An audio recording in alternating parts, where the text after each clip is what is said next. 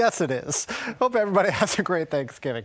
Want to show you what we're seeing outside right here, right now. And you'll notice that we are eyeing a uh, very large area of rain out to the west. This is all moving to the east. And as it does, Certainly going to be a huge player in our forecast later tonight into the day tomorrow. As we zoom in closer to home here, you'll notice that uh, things are still rather quiet for us. We have one little shower right now in and around Lynchburg.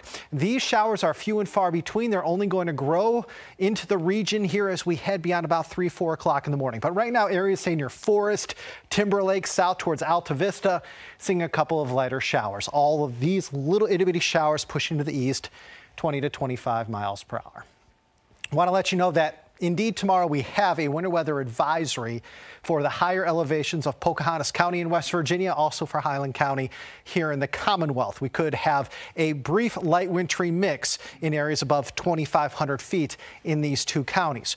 Whether it be freezing rain, sleet, or snow, it's not going to accumulate to much, but it could create just enough to create a couple of uh, slippery roads as we head into the highest elevations of these two counties come Tuesday morning. In addition to that, the winds are going to be on the uptick tomorrow. Already, we have a wind advisory for western Pocahontas, western Greenbrier counties in West Virginia, also for Bland, Wythe, and Grayson County here in the Commonwealth. Again, these wind advisories go from now through 6 p.m. on Tuesday. Most of us won't have winds stronger than 10 miles per hour tomorrow, but again, our westernmost counties could have gusts up to 40 to 50 miles per hour, especially again in the highest elevations of those counties we just showed you. Rain is going to fill in for us here after about 4 or 5 a.m. and tomorrow's morning commute. There's no other way to say it. It's going to be very, very wet. Notice also a little bit of pink showing up north. There's that brief wintry mix for us Tuesday morning towards the uh, higher elevations of the highlands. As we continue to go through time, heavy downpours will likely likely be with us through lunchtime into dinner time. I think the heaviest of the rain will likely be in areas east of the Parkway. That's also where we have the best chance to see a couple of thunderstorms tomorrow afternoon, a couple rumbles of thunder possible for you folks across south side after about 2 p.m. tomorrow. Then the rain will really, I think, start to let up after midnight tomorrow night. So really from uh, really late tonight all through the day tomorrow, even into tomorrow evening, the rain could fall heavily from time to time. Again, I stressed you, the mountains will be the first to dry out late tomorrow evening, and then areas further east will dry out soon after midnight.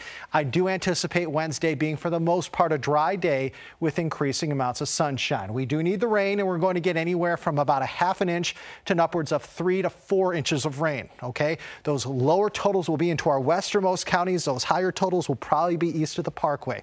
On average, half an inch to about four inches of rain, with most of us seeing about one to three inches of rain as we slowly but surely chip away at the drought. Temperatures stand for us right now 30s and 40s, most of us in the 40s. 45 in Lynchburg, 46 Roanoke, also at Smith Mountain Lake, 43 Blacksburg. You are at 34 though in Hot Springs, and that is why, friends, we could see a brief wintry mix here late tonight into tomorrow morning towards those higher elevations of the highlands. Highs tomorrow only around 44 NRV and Highlands, 46 in Roanoke, 47 Lynchburg. You could hit 53 to 60 tomorrow south side. South side without question going to be the warmest zone. Mountains are going to be the coldest. Now for tonight, we're going to see the rain uh, really developing very late tonight.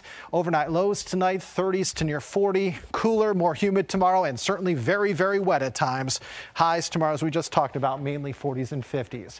You're going to need the umbrella tomorrow. It's going to rain and it's going to rain a lot on Tuesday, increasing sun Wednesday, mainly sunny on Thanksgiving. A little more cloud cover Friday, Saturday, Sunday, Monday, but only a minimal chance for a stray shower Friday through Monday. Best chance for rain Black Friday into this weekend will lie in areas to the south of us.